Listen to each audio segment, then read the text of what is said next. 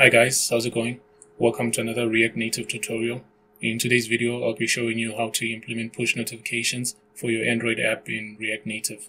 Push notifications can be extremely helpful and are a must-have in most, if not all, applications today. They help keep users engaged in your application and they're a good way to retain users and target specific users with unique messages. For today's video, I'll be focusing on Android. I'll probably do a similar video for iOS and what you'll need is a Firebase project and a OneSignal account. Let's get started.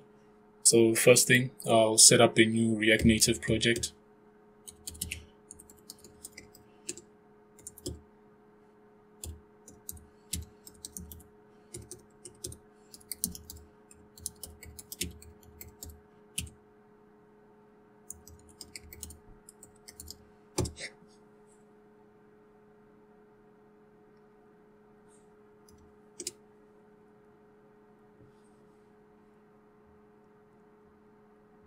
Once the project is set up, let's go ahead and run our Android application.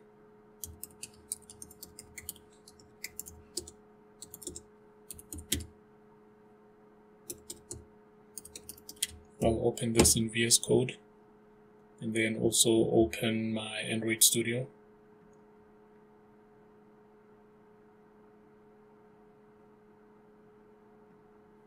And then I'll go ahead and import the Android project.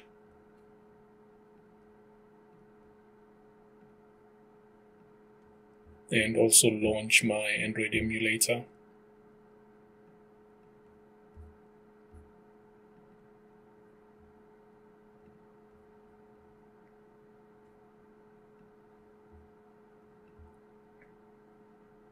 And what we should get when we run our application now is just the default uh, React Native screen. So let's just give Android Studio a moment to load everything. And then I'll go ahead and run the application.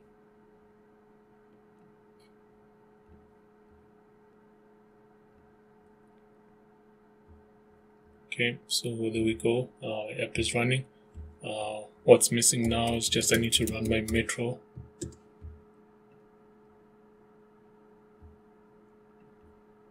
And then in here, so if you get this error as well, just come to settings, uh, debug server. Then I'll need my IP.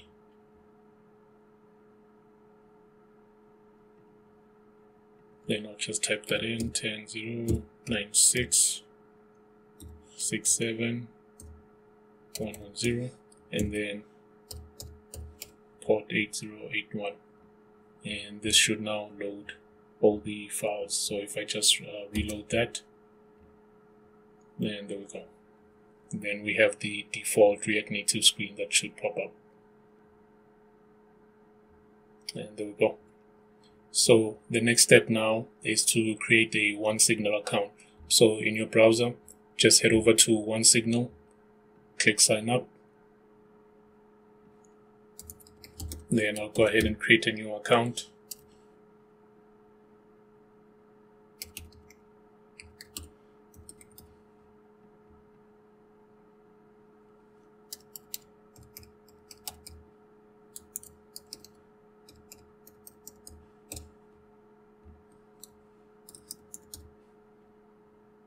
then create account.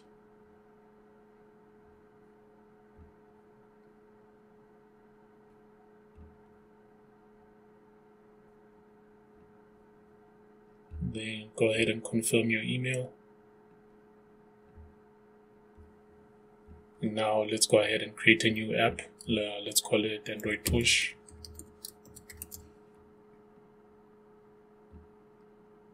Then click configure so what's what's required next is the Firebase server key and the Firebase sender ID. So to get those, uh, you can just go to either an existing Firebase project or create a new Firebase project.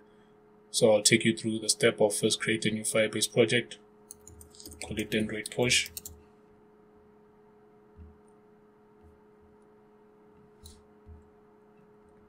Let me just close this.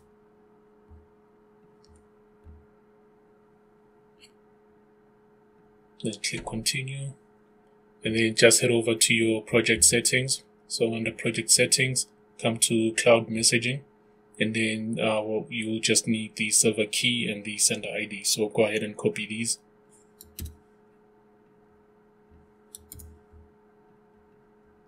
And the sender ID. Then click save and continue. And then here we'll select React Native and then click save. And while we're here, we can just pause right now. Uh, what we'll need is this app ID. So next up, we can move on to the React Native application. So next, uh, let's go ahead and go to the React Native documentation for OneSignal. I'll share all these links in the uh, video description. So here, uh, we'll scroll all the way down to the installation section. So we'll run uh, this command here. Uh, let's first disable this. And then next in our uh, build.gradle file we need to copy this uh, code here and add it to the top of our file.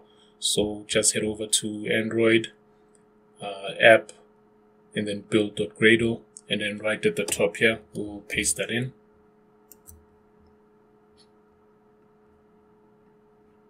and then we can scroll all the way down and skip all of this and come here so here, step five is where we initialize the OneSignal SDK in our app.js. So to do that, head over to your app.js file. So I'll go ahead and just remove everything here.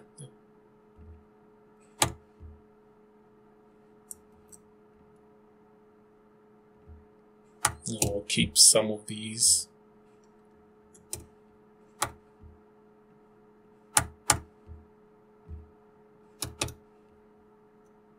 You can get rid all of all of this.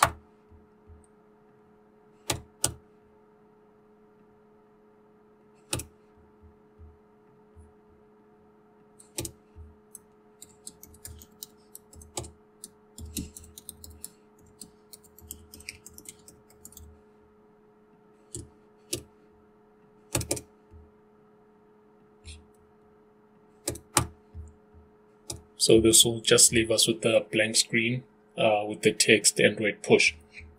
Uh, next up, let's import OneSignal. So we'll run import. Let's see if uh, the installation is complete. Okay. We'll say import OneSignal from React Native OneSignal. And then we'll also need uh, use effect. So we'll initialize the OneSignal SDK in the use effect.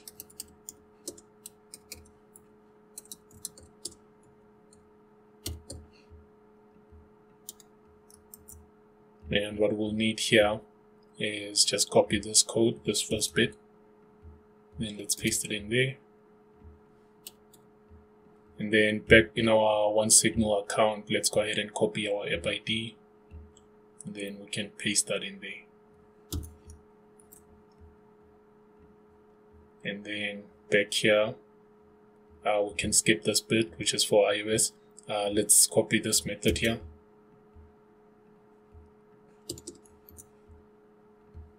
So it says here, this method handles when notifications are open. So it will be up to you what you do with the notification once uh, it's uh, sent to the user, whether they have to navigate to a specific page where you open the notification, uh, that will be up to you. So here we'll just console log the notification and then we'll get the details of the notification.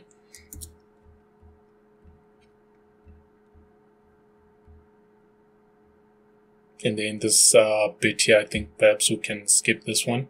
Uh, but basically, this one will be uh, a function that will be, that will be called when notifications are received while the app is in the foreground. So you can copy that as well and paste it in. Uh, for now, I'll just leave it out. And then after all of that, uh, let's just run our application again. Uh, first, let's build. Let's run another build.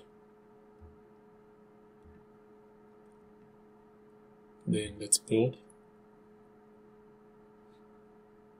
Okay so the build is complete. Uh, let's check to see if everything is successful. Everything seems okay. Uh, let's go ahead and run. Yeah so everything is okay. Uh, let's go ahead and run the app again. And now what we should have is just the blank screen as I've mentioned with the uh, text uh, what is this? Uh, Android push.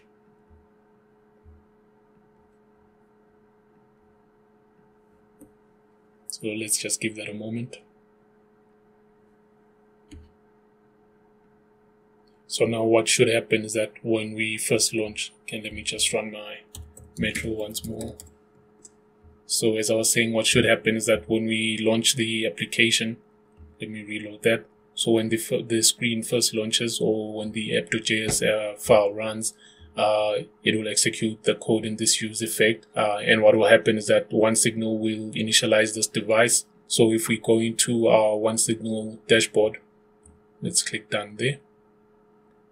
We should see a list of all the devices that have been registered on our uh, on the OneSignal account that, that should be able to receive push notifications. So if I click on audience, as you can see under subscribed users and active users, we have one device. And then if I go on to all users, uh, we should get the details of the device that are signed up in the player ID.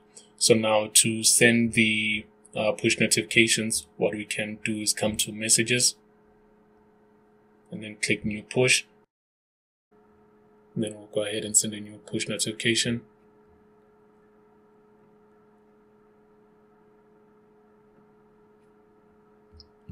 let's say test testing push notification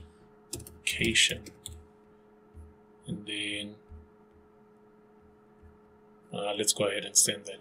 So it'll just be sending to one device because it's only our emulator that's signed up. So if I click send now as you can see we have this little bell icon that comes up and we have the message test push notification and then if I click on it it will simply open up the app. So from here you can further customize your settings in your app to include like your app icon and the different colors that should be there. And also you can install uh, the backend packages. So because obviously you'll be automating the push notifications. So if you want to install like a python library for OneSignal uh, you can just go ahead and google that